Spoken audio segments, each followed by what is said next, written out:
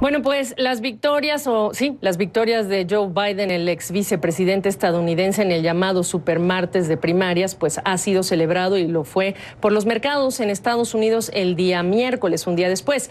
Victorias que sí revitalizan su esfuerzo por lograr eh, hacerse con el número de delegados necesarios para llegar a esa nominación demócrata con ese número suficiente de delegados. Y eh, bueno, en lo que es esa carrera que ahora tiene estos dos contendientes al senador, eh, también Bernie Sanders. Em, Joe Biden sería o no el candidato que va a pelear por la presidencia con Donald Trump, eso es lo que está por verse. Pero la pregunta es hasta dónde el festejo refleja menos el favor del mercado por Joe Biden y refleja más, sí, la, la, derrota sufrida por Bernie Sanders. Jorge Suárez Vélez, saludos hasta Nueva York. ¿Tú qué piensas?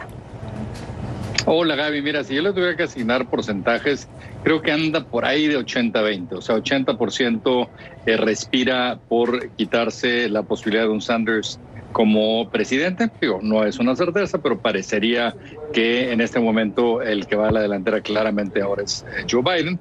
Y un 20% yo creo las implicaciones que tiene el que regrese una cierta normalidad y una cierta decencia a la presidencia, lo cual creo que eh, también eh, le daría un cierto alivio a este país.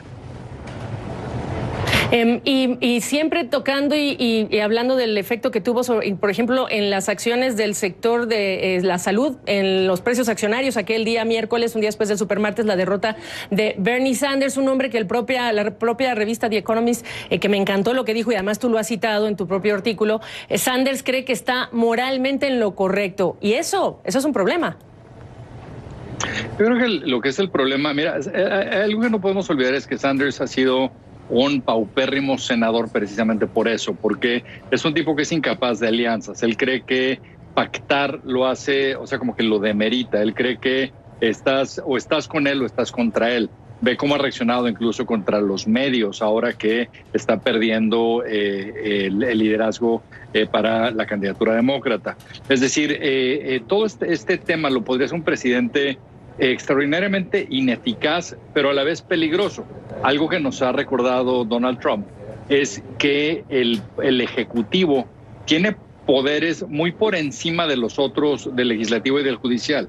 Entonces, eh, tampoco se puede eh, asumir que no podría hacer nada de lo que quiere y lo que quiere hacer tiene impactos fuertes en el sector privado, como decías. El sector de salud, sin duda, pero también, por ejemplo, el sector energético. Él lo que ha eh, propuesto es que se prohíba el fracking, una razón por la cual creo que en el estado de Pensilvania lo van a hacer pedazos porque es un estado que vive de esto, pero incluso habla del tema ambiental sin darse cuenta de que precisamente gracias al fracking la emisión de gas invernadero en Estados Unidos se ha reducido mucho más que en Europa porque están pudiendo usar gas natural para generación de electricidad y eh, temas eh, un poco más radicales como el que él propone que las empresas le regalen 20% de su capital a los, a los trabajadores, pues son temas que podrían generar un ambiente eh, laboral álgido en momentos donde, debido a toda la disrupción que está habiendo, ya de por sí hay algunas situaciones que son difíciles de manejar. Entonces, por eso quitárselo de encima creo que es algo que los mercados ven bien, pero particularmente también que los empresarios ven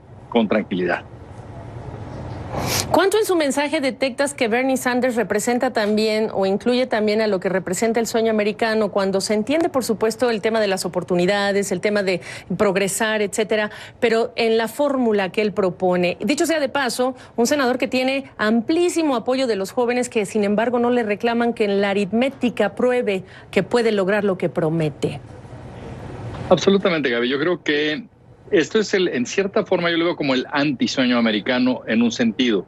El sueño americano, si, si tú ves estadísticamente cómo se comportan los estadounidenses en las últimas décadas, en general son partidarios de que, eh, por ejemplo, se les mantenga abierto el ascenso hacia ellos volverse millonarios. O sea, por ejemplo, el, el impuesto a las herencias en Estados Unidos siempre ha sido poco eh, eh, favorecido por eso porque para el, estadounidense promedio él siente que él algún día va a ser millonario y en ese sentido ese es el, sueño tradicional. El que no es tradicional es el que está impulsando no solo Sanders, sino en cierta forma gente como Elizabeth Warren, como Alexandra Ocasio Cortés, donde lo que esperan es que el Estado les dé, que el Estado sea el que cierre la brecha, que no se igualen necesariamente los puntos de arranque, sino que se iguale el resultado en la meta. Eso es bastante antiamericano en el sentido tradicional. Y yo creo que lo que dices de los jóvenes es algo que a mí me alarma mucho.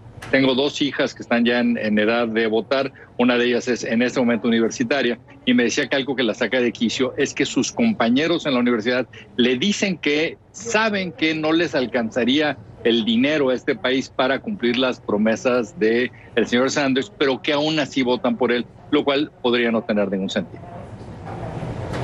Por último, Jorge Suárez Vélez termina con la frase de la semana pasada sobre los 20 años y si quieres en el populismo. ¿Cómo era?